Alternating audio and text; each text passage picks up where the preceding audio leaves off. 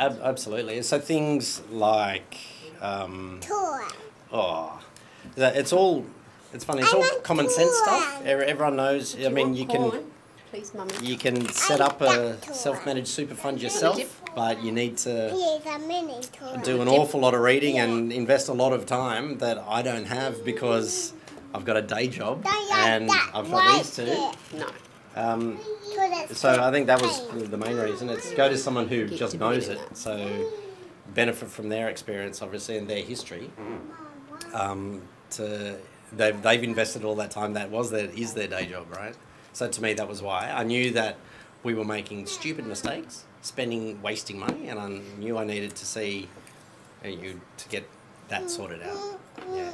So I and I'm, um, I think on most things you spend money on. Uh, I, we do a lot of research. Belle's the research queen for different things, and um, whenever you're going to spend money, so we um, interviewed, I guess, um, probably four or five people like Mike.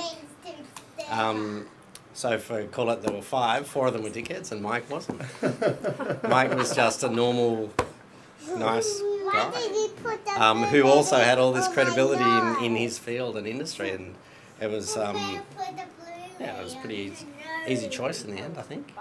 From my perspective, I um, so I needed that person to have credibility, and I think the other people were trying to sell to me, and being in sales, you kind of just pick up on. So that sounds like a pitch, um, and yeah, Mike didn't do that. It's not about a pitch. It's like, well, here's some really good options for you. This is what you should be doing, and it all made sense. Yeah.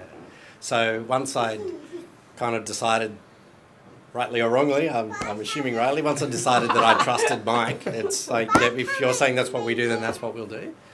Yeah. So uh, all the research was at the start. I I don't then research what Mike's telling me to do and see if that's the best decision. I trust his advice. Um, because yeah, we talked about it, and uh, yeah, again, once I had that level of trust and saw that he had credibility, I'll, I'll go with what he thinks. Because there's no point in me second guessing that. Again, it's the um, The man put my bubble on my head. really that man's name is Mike. Um, yeah, so there's no point in me going back and again trying to invest time to see if it's the right thing. I, I trust